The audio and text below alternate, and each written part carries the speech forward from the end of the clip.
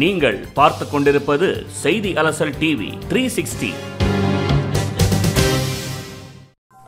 வங்கக்கடலில் புதிதாக உருவாகும் புயலுக்கு மேண்டஸ் என ஐக்கிய அரபு அமீரகம் பரிந்துரைத்த பெயர் வைக்கப்பட்டுள்ளது. சத்துணவு திட்டம் இப்போதுள்ள நிலையே தொடரும் என்று அரசு அறிவிக்க வேண்டும் என்று அன்புமணி ராமதாஸ் கூறியுள்ளார். பரந்தூர் விமான நிலைய மேம்பாட்டிற்கான சர்வதேச ஒப்பந்த புள்ளியை தமிழ்நாடு தொழில் வளர்ச்சி நிறுவனம் கோரியுள்ளது. மாமல்லபுரம் கல்பாக்கம் இடையே கிழக்கு கடற்கரை சாலையில் விரிவாக்கப் பணிக்காக கையகப்படுத்தப்பட்ட நிலங்களிலிருந்து நூறுக்கும் மேற்பட்ட மரங்கள் வெட்டி அகற்றப்பட்டன.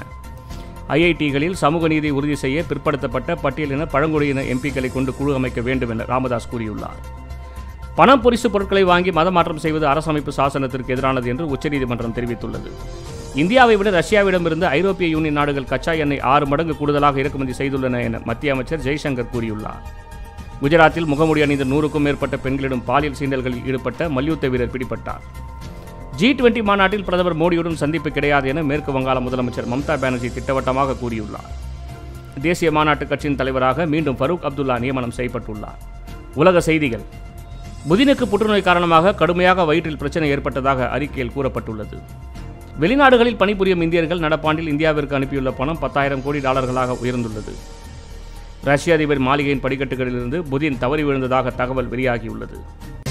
மேலும் இது போன்ற சுவாரஸ்யமான செய்திகளுக்கு தொடர்ந்து இணைந்திருங்கள். செய்தி அலசல் டிவி த்ரீ சிக்ஸ்டி. இந்த வீடியோ உங்களுக்கு பிடிச்சிருந்தா லைக் பண்ணுங்க ஷேர் பண்ணுங்க கமெண்ட் பண்ணுங்க சப்ஸ்கிரைப் பண்ணுங்க. மறக்காம அந்த பெல் பட்டனை அழுத்துங்க.